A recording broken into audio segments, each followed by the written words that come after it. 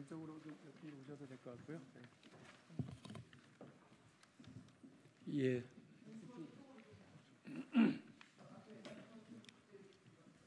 네. 네, 안녕하십니까 기자 여러분 연일 고생 많으십니다. 어, 국회의원 교육위원회 소속 우리 박용진입니다. 어, 오늘은 우리 저 사학 비리와 관련해서 공익 제보를 하시고 어, 사립대학 내부의 잘못된 문제와 관행을 바로잡기 위해서 노력하시다가 어, 오히려 징계를 받는 일들이 곳곳에서 벌어지고 어, 있어서 이 문제와 관련해서 어, 우리 그 관련 단체의 어, 기자회견을 좀 제가 소개하려고 이 자리에 섰습니다. 어, 뭐 제가 작년 국정감사에서 최근 10년간 그 사학 비리 규모가 4,177억 원에 달한다는 말씀 드린 적이 있습니다. 사립유치원 비리 규모의 11배가 넘는 엄청난 규모입니다. 그러니까 이런 사학 비리 문제를 해결하기 위해서 관련법 개정에 앞장을 섰고요. 또 국회 토론회를 개최하고 국정감사를 통해서 문제 제기를 계속 해오는 일을 했었습니다.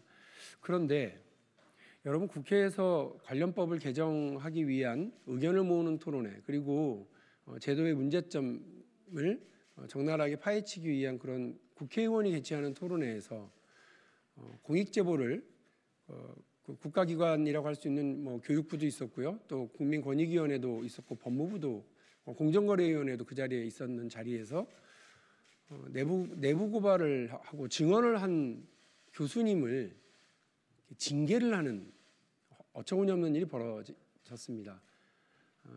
어, 동아대학교의 하동호 교수님이 그런 경우인데요. 이런 잘못된 일들이 계속되면 누가 국회에 와서 잘못된 문제를 부정 부정 비리와 관련해서 지적을 하고 또 사학 비리 내부 문제를 고발을 하겠습니까? 국가기관인 어, 국가기관이 와서 그걸 지켜보고 접수를 받는 과정까지 공개를 했고 또 국회의원이 국회에서 연 토론회에서 그 말을 했는데 어이없게도 그저 비리 재단으로 지목되어 있는 그 사학 재단이 이런 과정 자체를 뭐 깡그리 무시하고 어, 마치 자기의 당연한 권리인 것처럼 그 해당 교수를 징계하는 일이 벌어지고 있는 건 묵과할 수 없는 일이라고 생각합니다. 그래서 오늘 이와 관련해서 어, 우리 한국 사립대학교 교수회 연합회에서 기자회견을 같이 열, 열 것을 요청을 하셨고 그래서 오늘 이 자리에 섰습니다. 바로 그러면 우리 사회자께 넘겨서 참석하신 교수님들 소개하고 성명서 낭독 들어가도록 하겠습니다.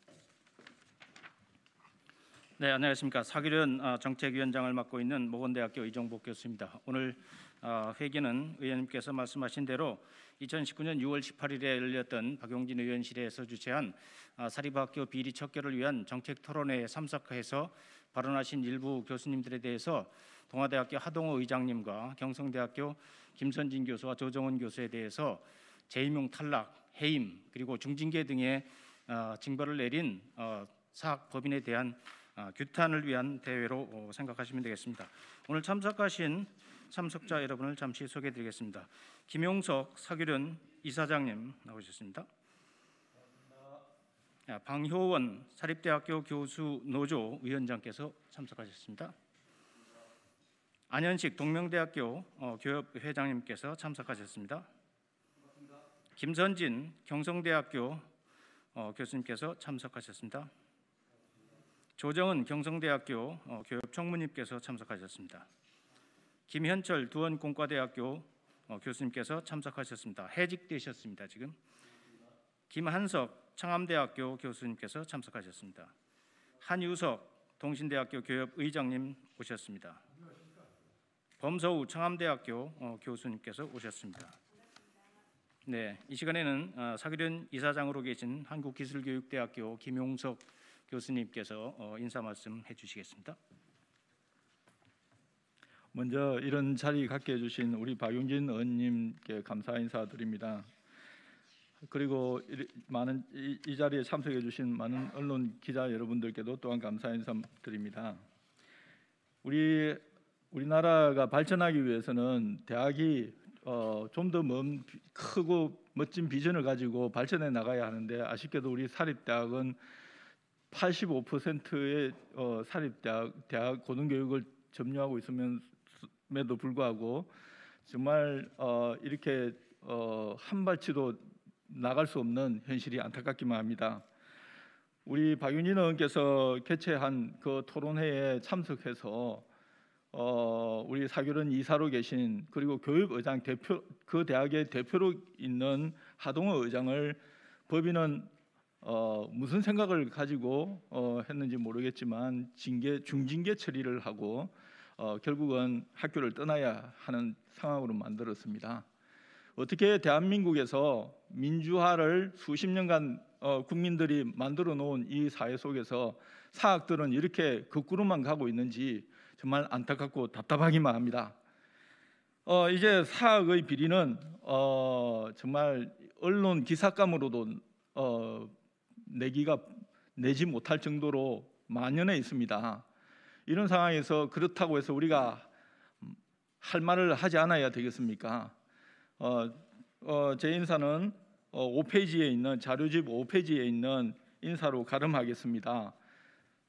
어, 기자 여러분들께서는 사학의 관점을 어, 관심의 관점으로 보지 마시고 이 사회 발전의 동력의 관점으로 봐주셔서 우리 사학이 발전하지 않는 이유에 대해서 깊이 있게 관찰해 주시고 국민들께 알려주시기를 간절히 바라겠습니다. 감사합니다.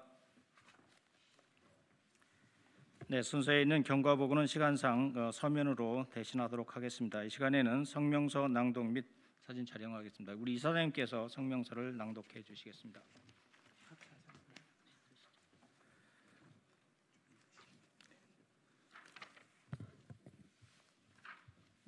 합시다. 네. 예. 그러면 우리 사교련의 정책위원장님과 또 우리 방현 사교조 어, 교수노조 위원장님 그리고 저하고 같이 나눠서 읽도록 하겠습니다. 제가 먼저 하고 이렇게 이렇게 하고 하십니다. 사, 의원님 안 하셔도 되겠습니까? 예. 어, 공익바른 탄압하는 대학법인 규탄한다. 사립대학 내에서 재단법인과 학교 측이 구성원들에게 가하는 비민주적이고 횡포에 가까운 억압은 어제 오늘의 이야기가 아니다.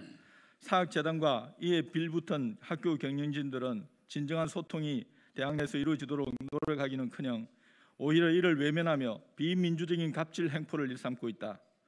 대학과 사학재단의 불법과 비리 그리고 온갖 종류의 비민주적 행포에 대한 교수들의 비판에 대해 사학법인들은 교수들의 입에 재갈을 물리려는 꼴불견을 연출하고 있다. 사학법인들이 스스로 교육자라 칭하면서 우리 사회의 가장 소중한 가치에 반하는 모습을 보이는 것은 스스로에 대하여 이율배반적이지 않은가?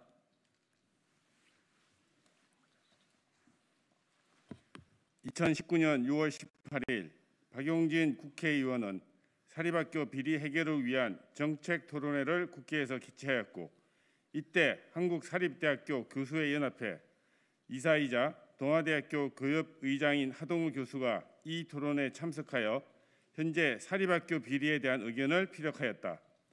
그 후 동아대학교 법인과 학교 측은 이를 문제 삼아 하동우 교수를 10개월이나 압박하였고 하동우 교수는 확인되지 않은 사실로 학교의 명예를 훼손하였다면서 법인 징계위원회에 해부하였다.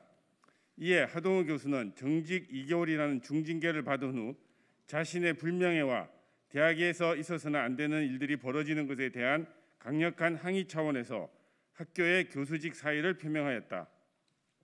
경성대학교에서도 친족으로 구성된 총장과 이사장의 불법적이고 비민주적인 학교 운영을 규탄하는 시위에 참여한 교수들을 야비하게 공격하고 마침내 교수 평가 감점 제도를 악용하여 제명을 거부하는 아나무인격 행위를 벌임으로써 교수 두 명이 해임당하는 충격적 상황이 발생하였다.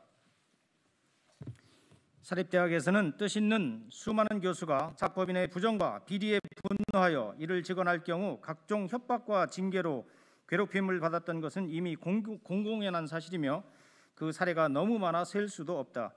공익신고자 보호법 보호법에 사립학교법과 고등교육법이 빠져 있기 때문에 사학의 비리를 제보한 공익 제보자들은 제대로 보호받지도 못하고 있다. 상황이 이렇다 보니 사립대학 법인은 사회적 책무성을 헌신짝처럼 버리고 사학 윤리 강령을 잊은 지 오래다. 우리 국민은 독재의 칼날이 시퍼렀던 엄혹한 시절을 이겨내며 사회 곳곳에서 민주화를 이루기 위해 주권 의식과 민주 시민으로서 자부심으로 가득해 왔다. 그러나 유독 사립대학 법인만은 시간이 거꾸로 흐르는 것처럼 그 횡포가 날로 심해지고 있으며 구성원들이 아무리 노력해도 그 병폐는 날로 커져만 가고 있다.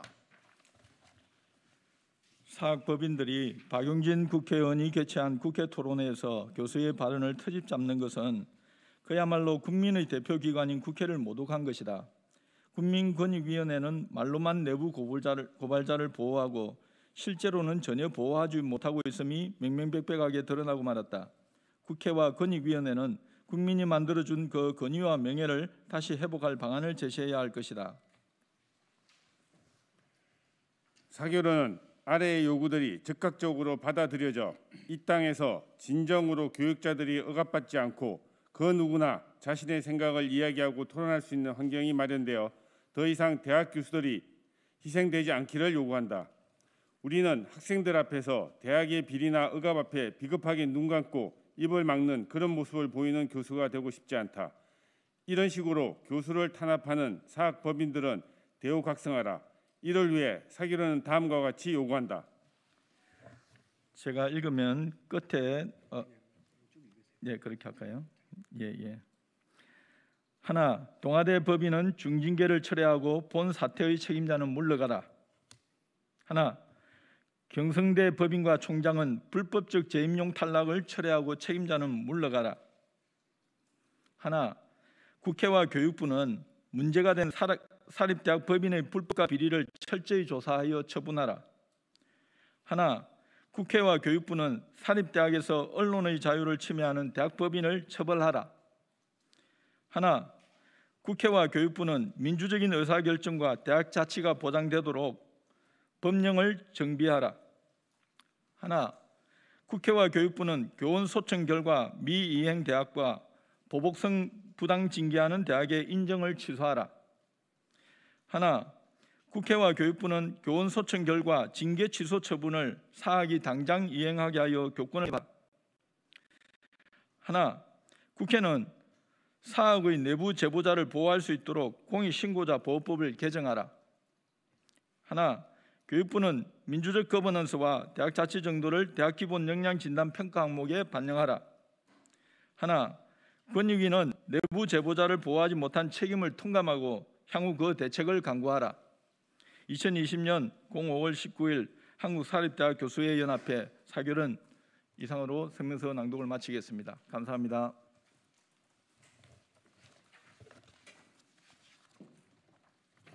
네, 이상으로 성명서 낭독을 마치고 어, 질의응답은 어, 밖에서 하나요? 네. 예, 백브링은 밖에서 어, 계속 이어지도록 하겠습니다. 이상으로 어, 사립대학 어, 비리 척결을 위한 박용진 의원실에서 주최했던 어, 정책 토론회 참석 발언으로 인해서 어, 불이익을 받은 교수님들에 대한 어, 사학 법인에 대한 어, 규탄을 주제로 한 음, 회견을 마치겠습니다. 참석해 주신 기자 여러분 대단히 감사합니다. 감사합니다. 감사합니다.